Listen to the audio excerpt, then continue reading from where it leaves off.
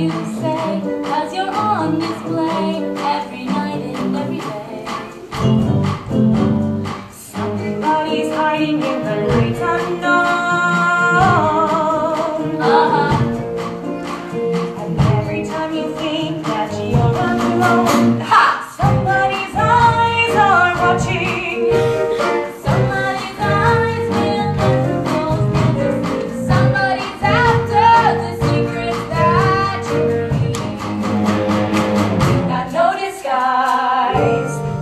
somebody's eyes. Well, thanks for the advice, but it's not gonna get to me. Gets to everybody.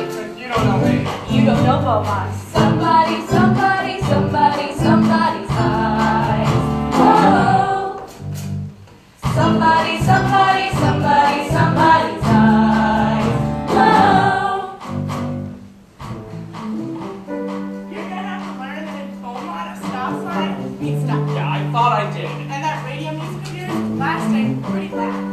that's why you pulled me over? My music was too loud? Hey, watch the attitude, boy.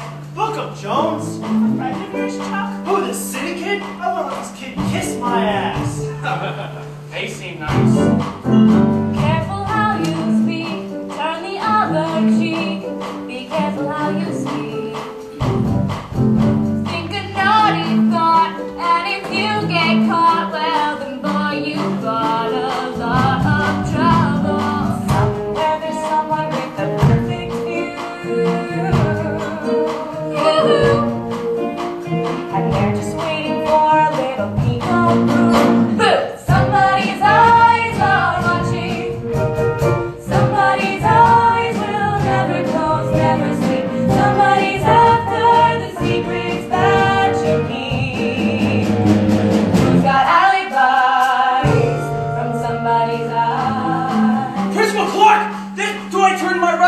Into a brawl? Yeah! Oh, really? And I guess my nose just slammed into your fist? No! Hey! That's enough! My boys know the difference between a wrestling match and a street fight! Oh, really, Coach? Because usually a wrestling match is one-on-one. That's enough out of this!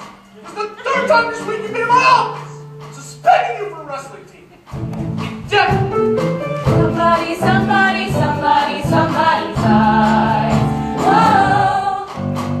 Somebody, somebody,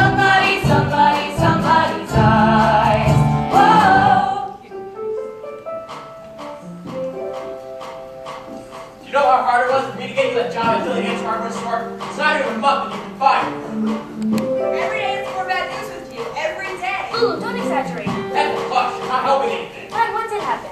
Nothing I should get fired for. I was just at the store and Miller came in and asked for change for a dollar. So I popped open the register. Mr. Dillingham came in and saw my hand in the drawer and he freaked out. He accused me of stealing. That's because everything you do makes people suspicious. Are you on drugs? No! But why don't you frisk me? Because I'm sure you've already poked around everything else in my room. Ren, apologize to your uncle. Look, young man, I know I'm not your father. Yeah, I can say that again. Wes! Ethel, hush, don't say anything. Wes, I don't know how to not say anything. Ethel, hush, please. Wes, I know the